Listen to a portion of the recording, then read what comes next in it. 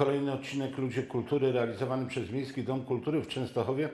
Proszę Państwa, z prawdziwą przyjemnością po raz pierwszy w tym cyklu e, no, gościmy dokumentalistę, tak, tak mi się wydaje, zresztą o tym dokumencie będziemy rozmawiać. E, Moim gościem i Państwa jest e, Krzysztof Kasprzak. Dzień dobry. Dzień dobry, witam.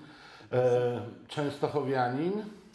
Z urodzenia nie, ale z serca tak. A, a to gdzie się... Urodziłem się w Dzierżoniowie i przyjechaliśmy do Częstochowy tutaj z rodziną, e, jak miałem 7 lat, 8 lat, w drugiej klasie, jak byłem podstawówki. Ale to co rodzice za pracą? E, nie, e, moja mama pochodziła spod Lwowa i, i ponieważ w 1946 roku musieli opuścić Lwów, no musieli, mogli zostać, ale trzeba było przyjąć obywatelstwo radzieckie, więc przyjechali e, na ziemię zachodnie. Tata pochodził spod e, Częstochowy, tutaj z Krzepic, e, no i też tam jakoś się spotkali, bo tam był u, u swojej siostry. E, i, I tak się złożyło, że tam w tym Dzierżoniowie właśnie się urodziłem. Byliśmy do, o, do, do 62 roku, w 62 roku przyjechaliśmy tutaj. E, Krzysiu, ty masz jakąś wiedzę dotyczącą swoich przodków? Znaczy interesuje mnie to dziadek, pradziadek, czym się zajmowali, z czego żyli. E, Takich bardzo głębokich nie mam, chociaż się e, za- zawsze gdzieś tam mm, chciałem poszukać, ale e, jakoś nigdy nie było czasu e, wgłębić się. E, Natomiast e, mój dziadek był sołtysem na wsi, e, właśnie w tych Iwanowicach Dużych. E, Był przed wojną, był podczas wojny, był po wojnie. No więc Proszę. tak, znał niemiecki, więc umiał się jakoś tam obrócić. Na szczęście e, jakoś tą wieś tam obronił, że się nic tam nie zadziało, chociaż mogło się zadziać. Mogło. Już były takie, tak. Mhm. E, Jesteś bezsprzecznie w mieście e, kojarzony z dokumentem, takim dokumentem o mieście bardziej.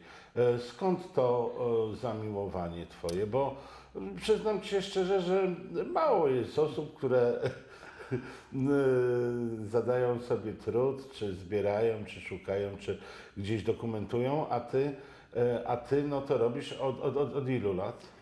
No, 30? Od 30? No właśnie. Znaczy wszystko się zaczęło gdzieś tam jeszcze w szkole średniej, kiedy się e, zainteresowałem historią tego miasta. No wiadomo, zbieraliśmy tam widokówki, bo to często się tak, e, pocztówki, jakieś zdjęcia ze Starej Częstochowy. E, No i to, to, to, to plus to, że e, no tam gdzieś pożyczałem kamery, coś kręciłem, ale to były jakieś takie drobne rzeczy. Natomiast tak na serio w zasadzie e, zaczęło się po roku 89 kiedy większość firm, które, amatorskich klubów filmowych, które były na terenie Częstochowy, wcześniej e, realizowały jakieś filmy, no, mieli zadania różne i polityczne też, bo takie były czasy, Tak. e, ale generalnie rejestrowały e, wydarzenia z życia Częstochowian. No i jak się okazało, że na, rynek, na rynku już się pojawiły takie kasety, te filmy, te kamery, które gra, na, nagrywały na VHS-ie, czyli można było wrzucić kasetę, nagrał dźwięk, nagrał kolor, e, prawda, można było wyciągnąć kasetę, wrzucić od razu, nie trzeba było nic wywoływać. Tak. Natomiast w tych starych, jak dobrze pewnie pamiętasz, e, trzeba było nagrać e, na taśmie filmowej, potem wywołać, potem pociąć jeszcze, bo pomontować. No i wyświetlić na projektorze, którego też nie wszyscy mieli. E, A poza tym do taśmy wchodziły małe rolki, które tam były tam 3, 4, 5 minut, więc to było wszystko kłopotliwe. No i chyba myślę, że pod tym ym, względem e, ci ludzie, którzy byli odpowiedzialni za te w zasadzie e, dotychczasowe materiały filmowe gdzieś tam zgromadzone, e, stwierdzili, że to już jest nic nie warte, zaczynamy nowy rozdział życia, prawda?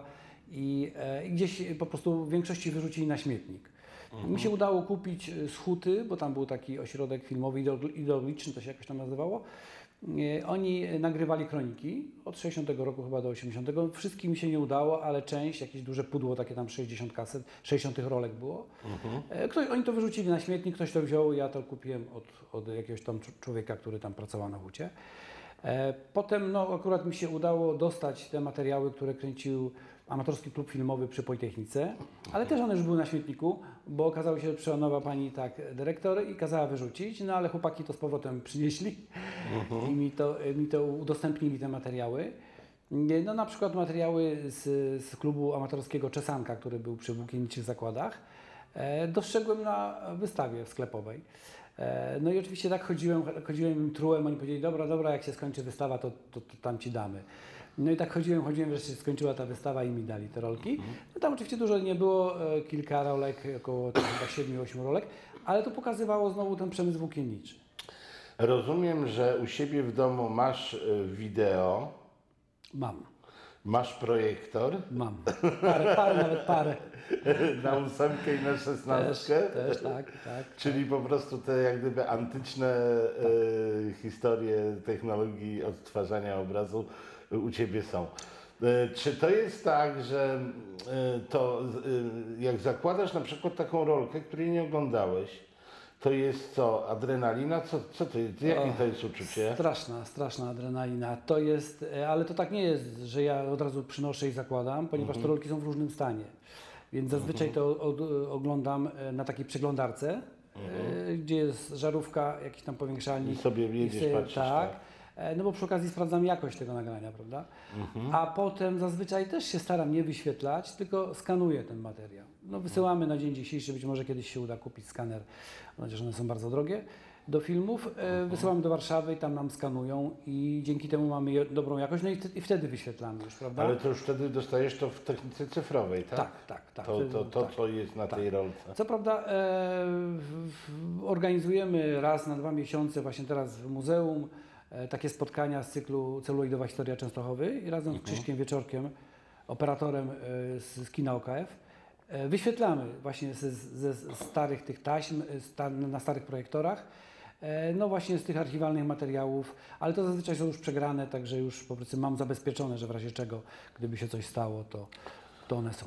Ja bym chciał, e, żeby ta rozmowa, bo ona będzie na YouTubie powieszona, e, przyczyniła się do tego, że e, te zbiory e, związane z miastem, e, te zapisy będą e, jeszcze bogatsze. Mm, Gdzie na przykład, e, nie wiem, e, robię porządek w piwnicy Tak. znajduję jakieś rolki jakichś filmów. Yy, nie mam projektora, nie, nie chcę tego wyrzucić na śmietnik. Gdzie to mogę przynieść? No, zawsze można do nas przynieść. To E, znaczy Moja firma kogo? Studio Filmowe Kasfilm mieści się e, w, Częstochowskim Parku Przemysłowym na Wałach Dwerlińskiego 117 przez 121. E, Mhm. My oczywiście to przejrzymy, zabezpieczymy. Mhm. E, Gdyby ktoś się, nie wiem, bał, nie chciał, to raz w roku organizujemy w październiku właśnie e, w ramach Święta Kina Domow- Domowego. E, To święto wymyślili archiwiści filmowi e, ze Stanów, ale w tej chwili już w każdym większym mieście, nawet w Polsce, e, w kilku miastach jest takie święto, gdzie można przynieść te filmy swoje właśnie na taśmach filmowych. Nie wiadomo, mogą być to i rodzinne nawet. My to przeglądamy pod kątem mm, konserwacji, żeby to można było puścić. No i oczywiście, jeżeli się ci właściciele zgadzają, to potem w określonym dniu zapraszamy, mogą być to nawet rodzinne e, e, filmy i pokazujemy to publicznie, prawda? No bo ja podejrzewam, Tak że biorąc pod uwagę ten upływ czasu, jednak chyba najwięcej e, to taśm VHS się e, trafia, prawda? E, No na dzień dzisiejszy tak. Mm, Bo te magnetowidy wyszły, ale one jeszcze tak, e, Tak. o, jeszcze, jeszcze, prawda, no, pamiętamy, że te lata 80. czy końcówka to, to jeszcze było normalnie w użyciu przecież, prawda? E, Do niedawna w zasadzie to nawet nie zbierałem e, tych materiałów z VHS-u, ale okazuje się, że to już taki szmat czasu, że jednak trzeba to zebrać. I, I w jakiś właśnie, no generalnie mam nadzieję, że kiedyś powstanie Filmoteka Częstochowska, że będę mógł te zbiory wszystkie przekazać, e, że będą to zeskanowane właśnie gdzieś tam, czy w internecie, czy ewentualnie w jakimś pomieszczeniu będzie można obejrzeć sobie. Najstarszy, y, no bo wiemy, że y, jakby nie patrzeć, to pożar w zapałczarni to jest początek polskiej kinematografii. No, to jest to nie- 1913. Nie tak do końca, bo tak było do tej pory. No. Ale parę lat temu pani profesor Henrykowska z Uniwersytetu Poznańskiego odnalazła we Francji w archiwum filmowym film e, z wrześni. To, to było o, tym wo- wozie Drzymały. Tak, tak. I to był film e, z 1908 roku i w związku z tym ten jest jakby najstarszy film Mhm. w tej chwili, a Pożar Zapałczarni jest na drugim miejscu. E, Pożar Zapałczarni, oczywiście przypomnę, że to bracia Krzemińscy kręcili, Mhm. ale e, to nie był też ich pierwszy film, bo to był chyba ich siódmy film, e, który oni nakręcili. A te pozostałe się nie zachowały? Nie zachowały się, nie zachowały się. Znaczy generalnie e, ja udało mi się przejrzeć mm, wiele tych e, gońców częstochowskich, gdzie oni za każdym razem, jak wyświetlali, to po prostu e, chwalili się, pokazywali, przyciągali publiczność właśnie tymi tytułami, e, które kręcili. E, I udało mi się wypisać, e, i to było około 60 tych filmów, które oni nagrali. Co ty?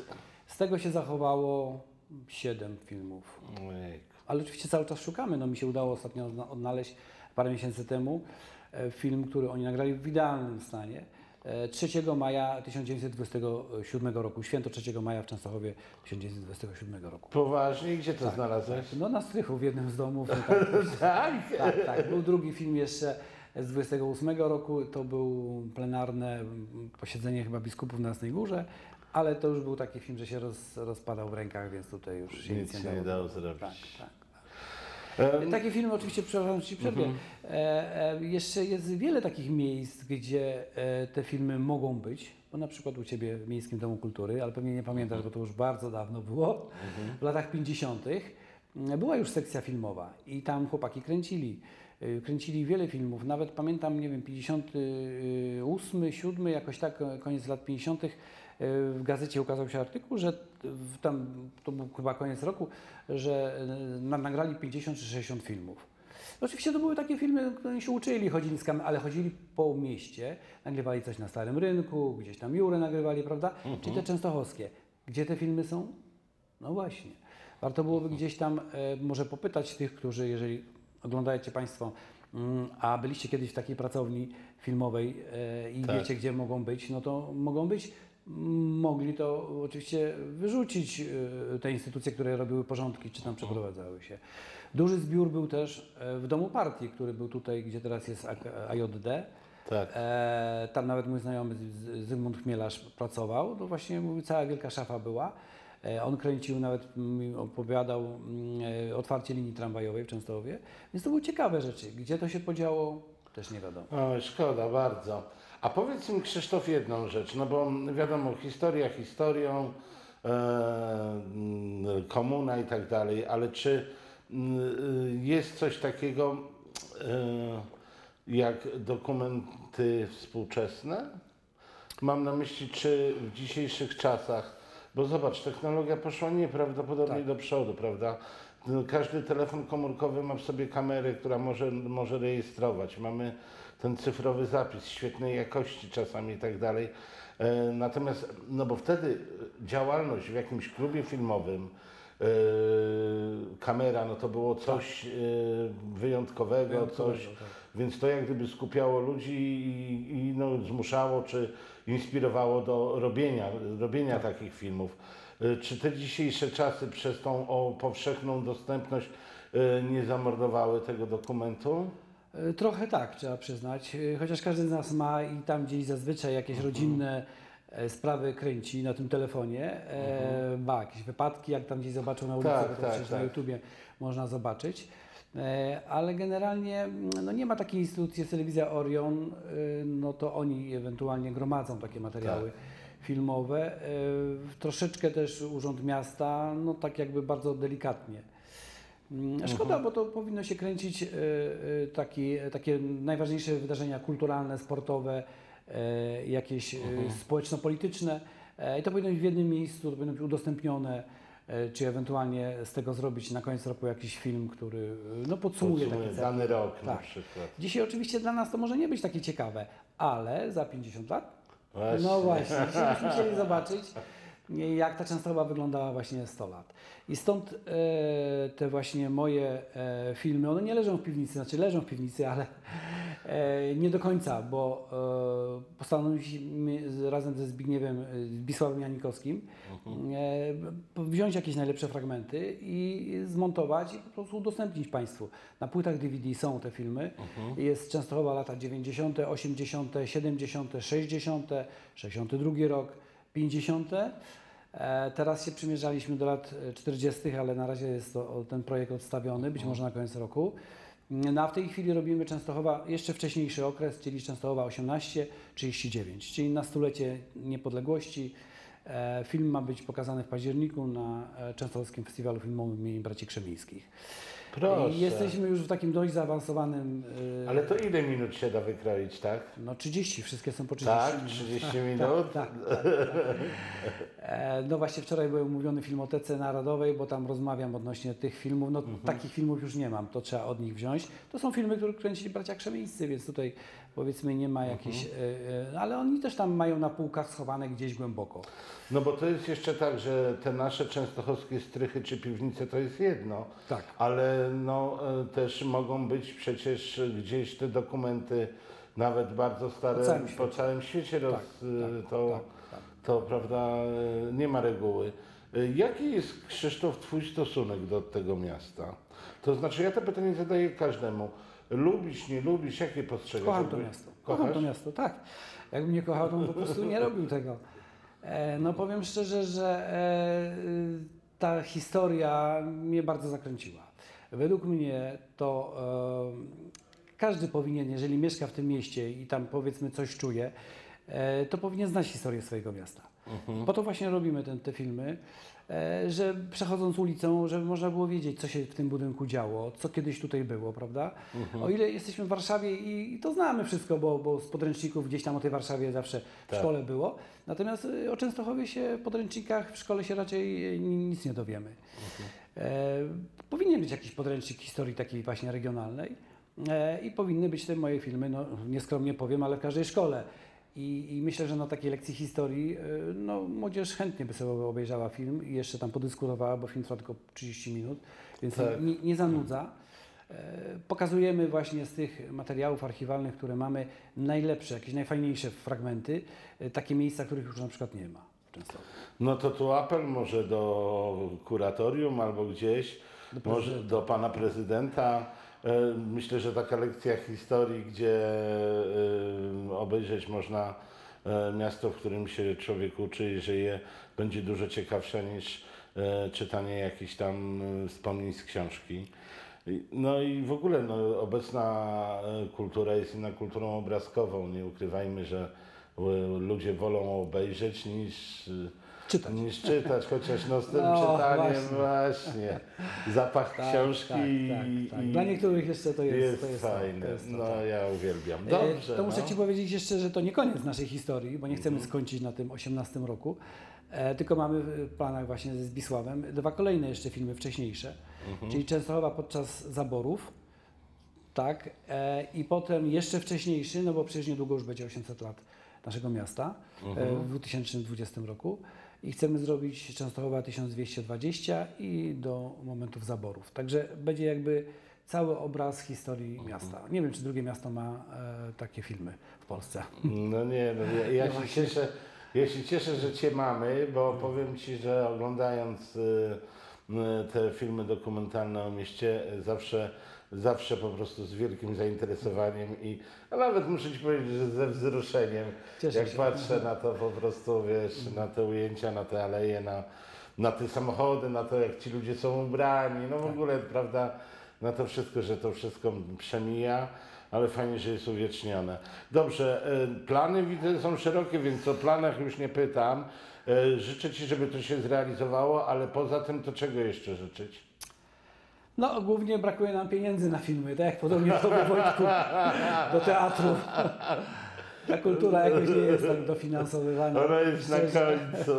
Ona jest na końcu, tak. Są inne Tak, priorytety. no powiem, że gdyby nie sponsorzy, to tych filmów by nie było, bo niestety e, Tak. na przykład w Filmotece, e, żeby kupić od nich taki film, e, to trzeba zapłacić 5 tysięcy za minutę filmu. To są Poważnie? ogromne filmy, tak. No my oczywiście mamy tam dla nich e, takiego haka, więc najprawdopodobniej się dogadamy, bo, bo oczywiście to nie wchodzi w rachubę 30 minut, prawda, po Tak. 5 tysięcy. No to jest nagle... tak. Tak, zresztą no, tam tyle by, minut by nie było, ale w każdym bądź razie e, no, tak to jest, że, że no, montaż, e, muzyka, prawda, wszędzie trzeba Tak. autorskie płacić, więc tak to wygląda scenariusz. E, Jest, jest, powiem szczerze, że jest e, no, dużo kosztów, dużo kosztów. Już nie pomnę, że część materiałów kupujemy, no bo część oczywiście dostaliśmy gdzieś tam od kogoś Mhm. w zamian za to, więc dlatego właśnie mówię, życzyć tak tych dobrych sponsorów, ale Tobie też Wojtku życzę. Dobrze, no to e, Krzysiu, zdrowia, e, e, hojnych sponsorów No i, i po prostu realizacji tego dokumentu o Częstochowie dalej, żeby Ci się wszystko udawało. Dziękuję bardzo. Dziękuję za rozmowę. Kłaniam się. Możemy tam pomachać. Dziękujemy Państwu.